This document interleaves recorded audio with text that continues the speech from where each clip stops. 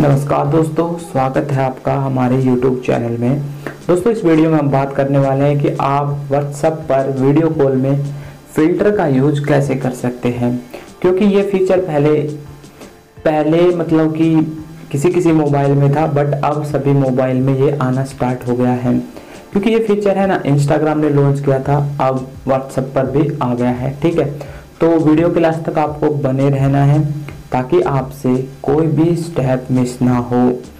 तो मैं आपको बताऊँगा आपको स्टेप टू स्टेप फॉलो करना है, ठीक है? तो सबसे पहले आपको अपने मोबाइल की सेटिंग को ओपन कर लेना है। सेटिंग को ओपन कर लेना है, ठीक है? सेटिंग के ऑप्शन सेटिंग के सेटिंग को ओपन करने के बाद आपको करना क्या है?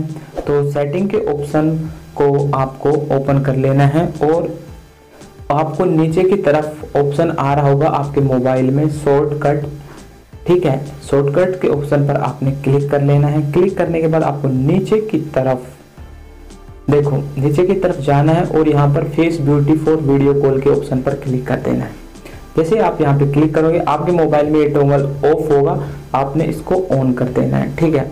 तो अब आपके, आप जब भी आप जब भी व्हाट्सएप पर वीडियो कॉल करेंगे तो आपके जो व्हाट्सएप नंबर है जिसके साथ आप वीडियो कॉल कर रहे हैं तो उसमें फ़िल्टर का ऑप्शन दिखाई देगा। तो वहाँ से आप उन, आपको सिलेक्ट कर लेना है, कौन सा फ़िल्टर आपको यूज़ करना है।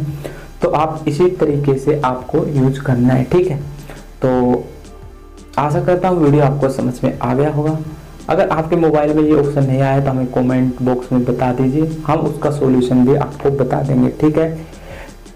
और वीडियो अच्छी लगी तो चैनल को सब्सक्राइब कर दीजिए, ठीक है? और वीडियो को लाइक करना न भूलें। और अगर आप भी चाहते हैं कि आपकी इंस्टाग्राम की जो रील है वायरल करना चाहते हैं तो हमने पीछे वीडियो बनाए हुए हैं। उनकी बहुत अच्छा रिस्पॉन्स आ रहे हैं तो आप वे वीडियो भी जाके देख सकते हैं, ठीक है? तो चलते हैं, मिलते हैं आपको अपने अगले वीडियो में। जय हिंद, जय भारत।